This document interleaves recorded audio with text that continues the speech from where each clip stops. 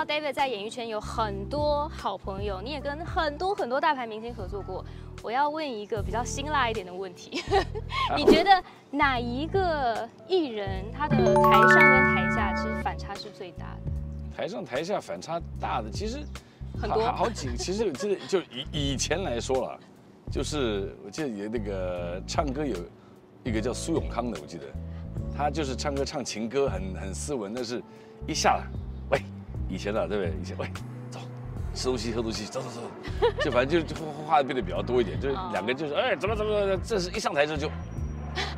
男人不该让女人流泪。啊，对，他很斯斯文，但是一一个离开镜头之后就就话会比较多一点，哎，干嘛干嘛干嘛干嘛干嘛干嘛，就讲一大堆有的没的，很多都是台上话比较少，然后呢台下非常的活泼一点，个性反差的比较大一点，就是品冠。哦，因为最近看他比较多一点，在台北的时候，他就他他其实也就这样子，对不对？在平常的时候呢，就是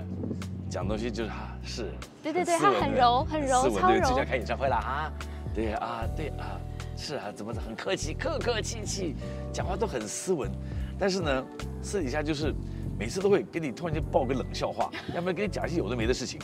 然后就就很就就是，但是重点是，他跟你讲这些奇了八怪东西的时候呢，还是很斯文的讲。我说你这个你这演喜剧很很可惜，他说啊是吗？我说你。